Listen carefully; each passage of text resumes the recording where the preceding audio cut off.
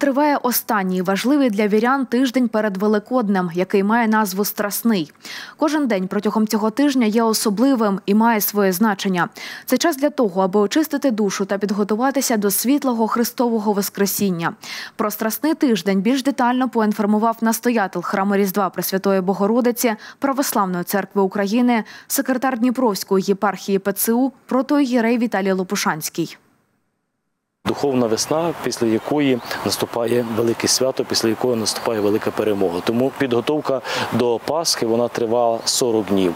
І піст, великий піст, свята Чотиридесятниця завершилася, але зараз ми перебуваємо в тижні, який називається Страсним тижнем, Страсною седмицею. Особливі дні е, цього тижня кожен день називається великим. Великий понеділок, великий вівторок, велика середа.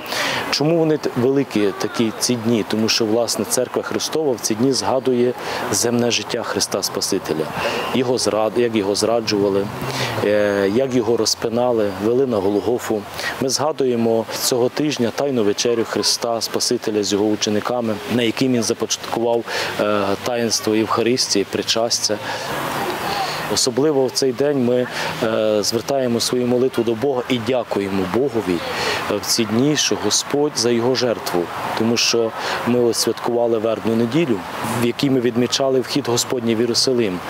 Приходили в храм з вербою, благословляли цю вербу, зустрічали Христа, осанна вишніх, благословен в ім'я Господнє, і усвідомлюємо те, що Христос в Єрусалим прийшов на страждання заради людини, заради того, щоб привести людину до Бога, заради того, щоб відкрити людині двері до Царства Божого.